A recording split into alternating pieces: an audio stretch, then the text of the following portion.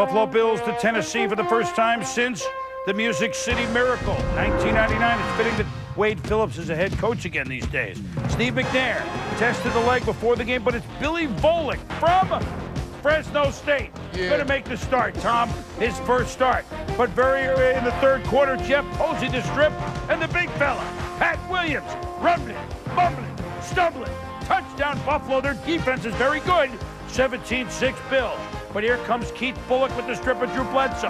Bulluck also recovers. So, now, Tennessee in business down by 11. Bullock to the big tight end Erron Kinney touchdown. McNair sidelines, yes, sir. Two point Titans conversion, yes. 17 14. Bullock to Derrick Mason. After a review, it was ruled a catch, and it was a good review. He was in.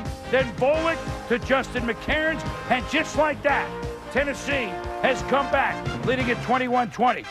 Screen, Eddie George. Looks like the old Eddie George until the end of the play. To the four, it's a boom. But Mason is right there for Tennessee. So second and goal, Volek to sneak, touchdown. Billy Volek pumped, heaves it in the crowd. Titans lead 28 20. The game's about over.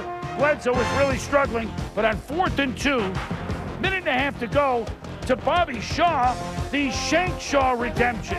44 yards, Buffalo in position. Bledsoe, look at the touch here. Nice.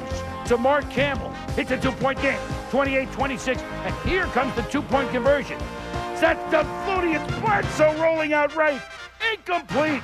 Well, they would review it. Shaw says, look, I'm showing the ref that I caught the ball, and when I put it up in the air, I lost it. Hold on to it. He explains it, the ref doesn't buy it, and both and the Titans escape what could have been not a disaster, but would have been three straight losses for the Tennessee Titans. Instead, they win it, and so they go to 10 and 4, still in the driver's seat for a wild card berth, or still alive because Indianapolis clinched a playoff berth